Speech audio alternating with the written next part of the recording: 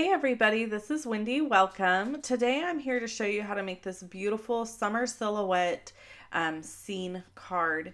I'm actually not going to show you how to make the whole card, but the part that I is really important to me, I'm going to show. Um, so this card I'm creating for my grandpa. I grew up on 40 acres and he had two ponds on his property and lots of trees and this I was just trying to convey a card that made me feel that way. So that's why I made this card.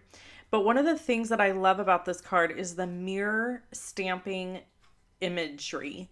So I'm going to show you how to do that using this retiring stamp set, Summer Silhouette. I'm first I'm just inking up with Memento ink really, really well because this is a solid dark image. And I'm going to just kind of stamp this off to the side.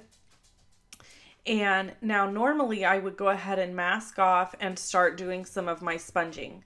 But in this case, I simply want to show you how to do the mirror image stamping, not necessarily make the entire card.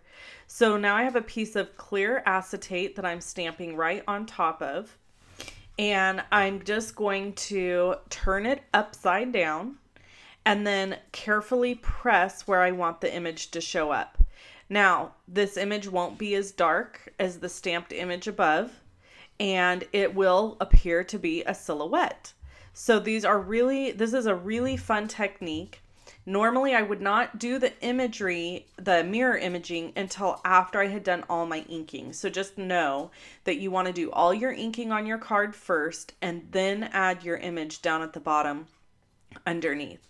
I have another card that I want to show you. This is a card I did a while back and I used that same mirror image technique here and it turned out great. And then of course that we're back to my original card here.